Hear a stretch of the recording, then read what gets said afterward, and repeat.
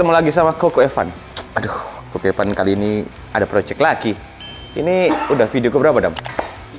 Ketiga. Ketiga kita mau ganti yang sebenarnya itu perlu banget. Kenapa? Soalnya piringannya itu kondisinya kayak gini, guys. Ini, Dam.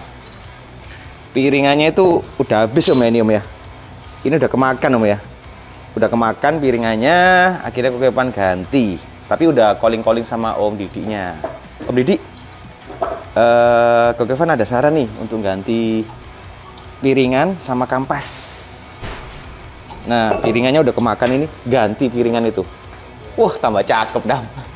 Udah kayak pasang BBK aja dam. Jadi uh, di sini ganti piringan sama ganti kampas. Ntar kampasnya pakai prospek piringannya pakai stop.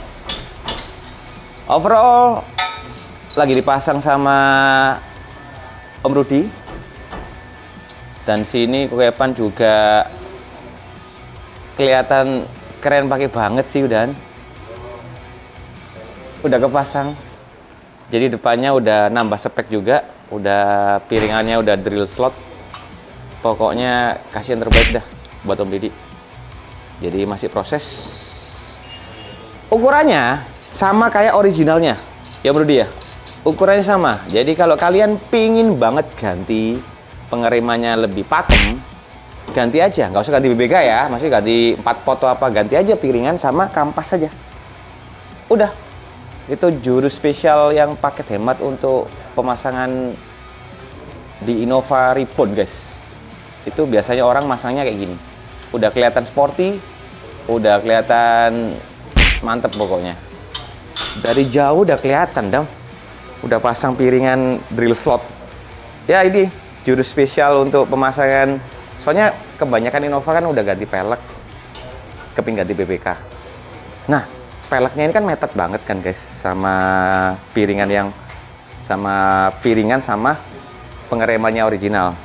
Jadi ganti aja piringan sama kampasnya aja. Udah cukup dan kalau mau lebih keren lagi, itunya di repaint. Tapi nggak usah di repaint guys. Ini aja udah cukup. Yaudah, masih proses Om Rudi. Ntar kita spill-spill pengharapan berikutnya. See you guys. Capcus.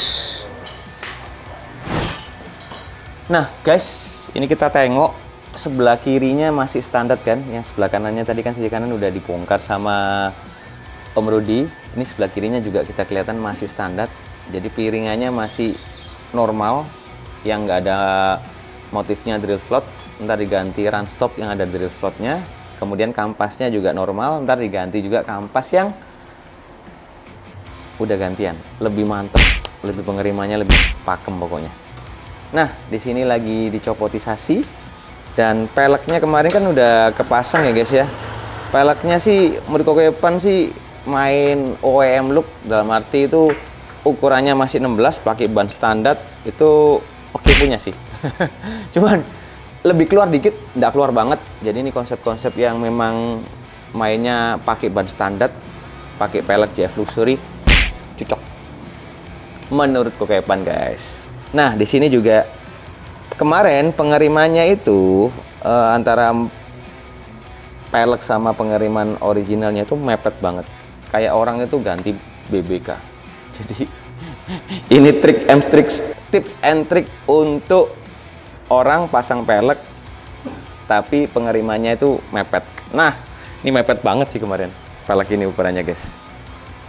Oke, ntar kita spill lagi, guys. See you.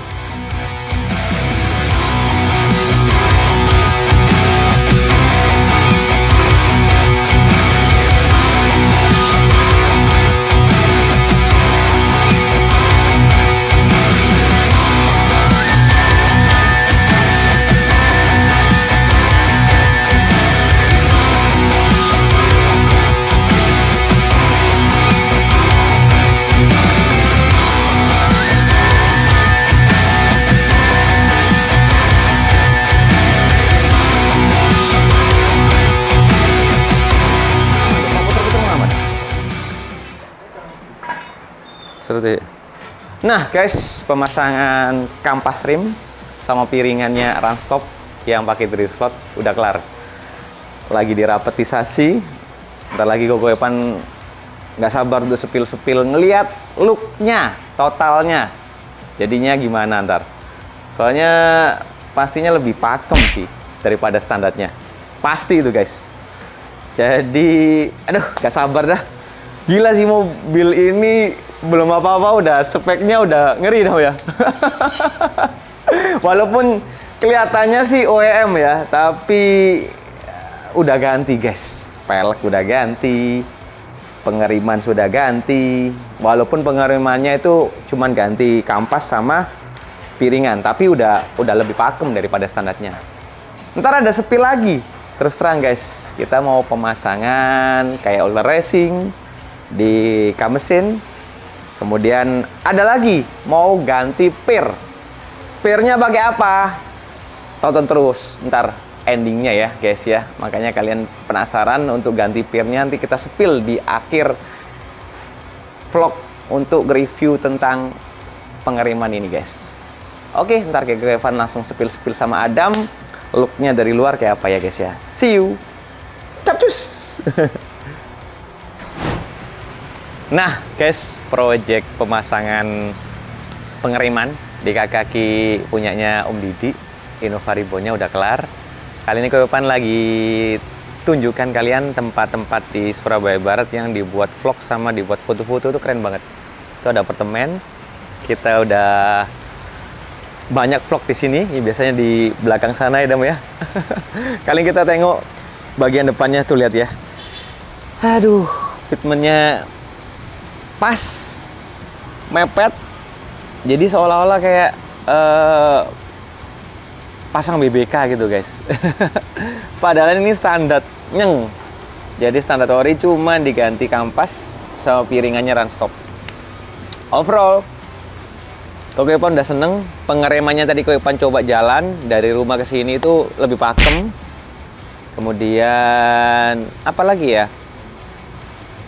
Pokoknya lebih kerasanya lebih mantep gitu loh guys.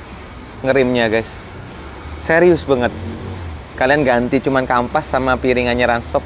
Udah cakep udah yang aslinya soalnya kokepan suruh ganti soalnya memang ada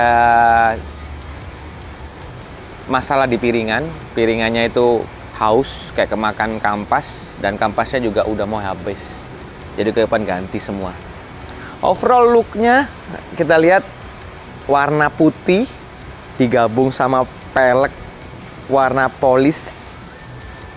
Kemudian ada aksen-aksen krom-kromnya masih ada jadi Innovanya tambah ganteng sih. Dengan fitment ini pakai pelek JF Lusuri lebarnya tujuh setengah rata. Cakep. Bannya ini banyak bawaan dari Innovanya guys. Dari orangnya. Jadi pakai pelek ring 16 tetap sama.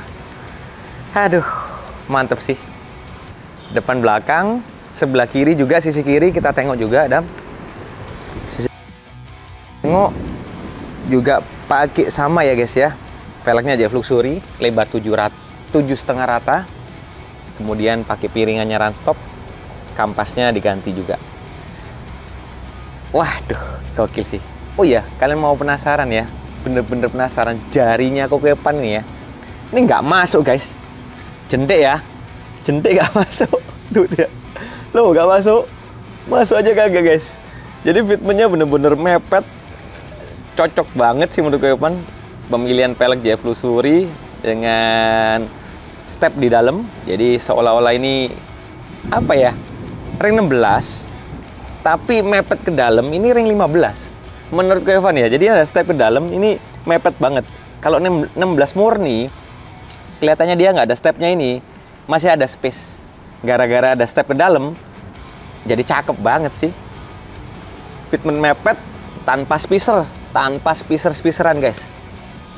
Jadi cuman pasang plek kelihatan mepet. Uh cocok banget seneng banget Depan aduh pokoknya cocok banget dah warna putih dikasih pelek warna polis. Itu cocok banget sih. Kita akan sepil spill modifikasi punyanya Om Didi berikutnya itu ntar ganti stud bar bagian mesin ya. Bukan diganti sih ditambahi speknya. Ditambahi habis itu yaudah ntar lihat vlog berikutnya tentang sepil pemasangan stud bar di Innova Ribbon jadi kalian kalau pemilik Innova Ribbon itu banyak banget modifikasinya guys. Bersyukurlah kalian punya Innova Ribbon apalagi Jazz apalagi Brio itu juga banyak kalau mobil-mobil Simona X aduh sedih kok ya pan dikit guys Oke, kita antar spill pemasangan stud bar di Innova Ribbonnya Om Didi. See you guys. Capcus.